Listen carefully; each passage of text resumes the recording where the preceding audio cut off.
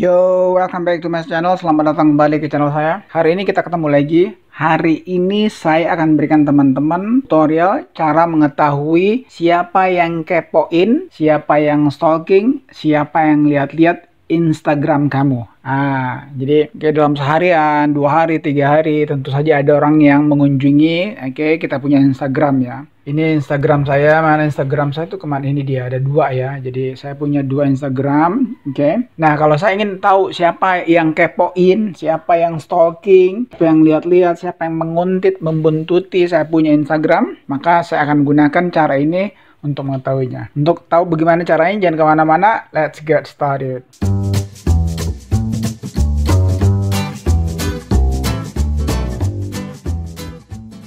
Oke, okay, jadi kalau teman-teman ingin mengetahui siapa yang kepoin, okay, siapa yang lihat-lihat atau siapa yang menguntit kita punya Instagram, maka teman-teman butuh satu aplikasi. Di teman-teman butuh satu aplikasi yang namanya ini saya perlihatkan, ini dia, oke. Okay? Profile Analyzer. Jadi teman-teman kudu punya satu aplikasi yang namanya Profile Analyzer. Jadi teman-teman tinggal masuk aja ke Play Store, nah, kemudian teman tuliskan di sini, nah ini dia Profile Analyzer. Download yang pertama ini, ini di sini ya. Oke, okay, Follower Analyzer okay, saya sudah terinstall di sini, teman-teman lihat ya. Jadi kita klik gini, oke. Okay. Sebelum saya buka, oke, okay, saya ingin perlihatkan dulu bentuknya seperti apa. Follower Analyzer ini aplikasinya. Nah ini dia. Oke, seperti ini bentuknya ya. Profile analyzer seperti ini sama aja dengan yang tadi. Oke, kita buka aja. Ah, karena teman-teman ingin mengetahui siapa yang menguntit, siapa yang melihat-lihat, siapa yang kepoin kita punya Instagram, maka kita masuk ke login with Instagram. Oke, jadi kita login with Instagram. Oke, kita tunggu.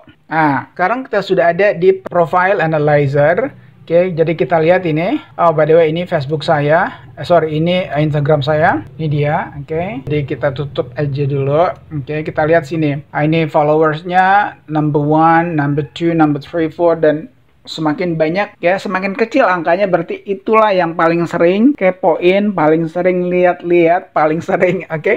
ngintip-ngintip kita punya Instagram. Kita lihat buka ya kita buka sekarang follower number one kita buka aja. Nah kita lihat siapa dia? Oh ternyata Mido. Bisa saja orang yang mengikuti kita itu orang yang kita tidak kenal. Kalau kita kita kenal nggak ada masalah ya tapi kalau kita tidak kenal mungkin kita juga penasaran. Kalau kita buka show profilnya. Kita lihat profilnya dia siapa kita buka aja lihat yang ini kita lihat ah ini dia. Eh, jujur saja eh, saya juga tidak terlalu tahu ini orang tetapi kebetulan uh, saya punya apa uh, Instagram itu adalah terbuka untuk umum ya. Saya tidak kunci siapa saja boleh mengikuti saya. Oke jadi ini ternyata orangnya. Oh oke saya juga tidak terlalu kenal ini. Oh ternyata dia ingin jualan sesuatu. Itu yang pertama ya itu follower pertama. Sekarang kita coba masuk ke follower nomor 2 janganlah kita ambil follower nomor 5 ya. Kita ambil nomor 5 misalnya ini Raihan. Oh Raihan. Oke kita show profile. Kalau ini saya kenal. Ini saya kenal banget. Ini ini saya kenal ya.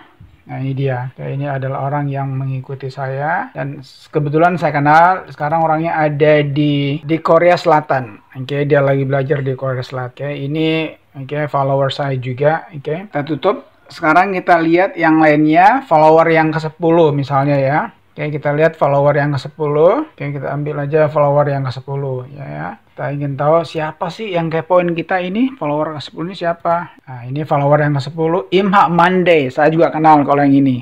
Ini justru orang-orang yang ke belakang-belakang saya semakin tahu ya. Jadi ini saya juga kenal, kenal baik bahkan. Jadi ini dia, oke. Okay saya kenal baik dengan yang ini. Jadi itulah tadi, oke. Okay? Jadi kalau teman-teman ingin tahu siapa yang kepoin, siapa yang lihat-lihat, siapa yang ingin tahu tentang Instagram kalian, maka kalian harus mengunduh, oke, okay, atau harus okay, memiliki aplikasi yang namanya yang ini, oke, okay, Profile Analyzer, oke. Okay?